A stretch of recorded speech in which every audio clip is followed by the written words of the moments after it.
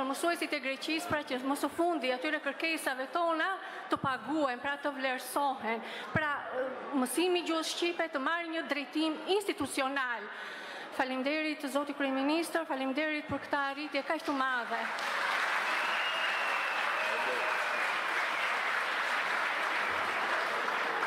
Thank you.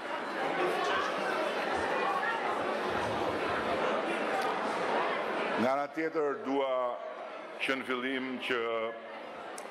t'ju shpreh keqardhjen të gjithë gazetarëve të ardhur dje nga Shqipëria për të ndjekur këtë takim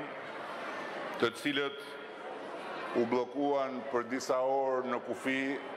për arsye të panjohura për ne, por dua dhe të falenderoj ministrin e Jashtëm grek, mikun tim Gjorgjos Gerapetritis për ndërhyrjen e tij dhe zhbllokimin e një situate absolutisht të Absurde, që kurrë nuk i ka ndodhur dhe s'mund t'i ndodhë në asnjë mënyrë, për asnjë arsye, asnjë gazetari grek në kufirin hyrës të Shqipërisë.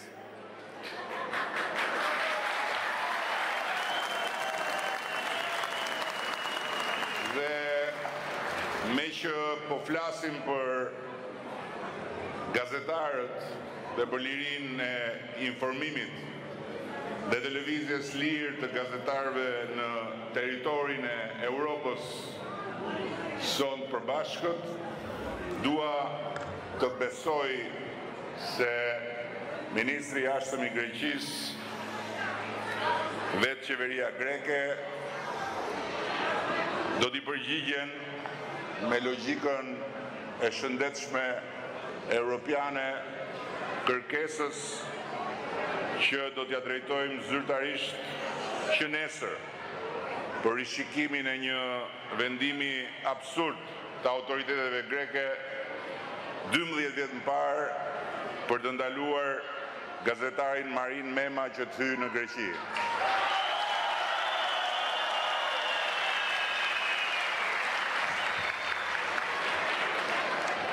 Marin Mema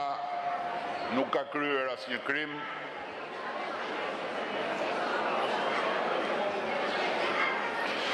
ai nuk ka bërë asgjë më shumë dhe asgjë më pak sesa punën e tij si gazetar i apasionuar pas gjurmëve të historisë së shqiptarëve. Dhe nëse këndvështrimi i tij i historisë është i ndryshëm nga i kujtdo qoftë në Athinë që ka nxitur apo ka marrë vendimin absurd për të ndaluar lirinë e tij të hyrjes në një vend Bashkimit Europian, siç është Greqia fqinje dhe mike, ky s'mund të jetë kurrën e kurrës një shkak për t'i hequr arbitrarisht një gazetari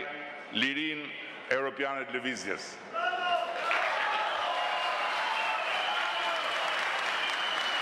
Përkundrazi, kjo është një masë ekstreme, antidemokratike, antieuropiane, e cila bie ndesh me çdo vlerë dhe me çdo parim të komunitetit demokratik europian. Dhe në vazhdim të këtyre shfaqjeve të padëshiruara, diku këtu rreth e rrotull një grup fantazmash të gjalla dhe të shkuarës janë angazhuar në një protestë kundër ardhjes time këtu për t'ju takuar ju. Me fletushka dhe me parulla qesharake të frymëzuara nga i ashtuquajturi Vorio Epir, ata kanë bërë këto ditë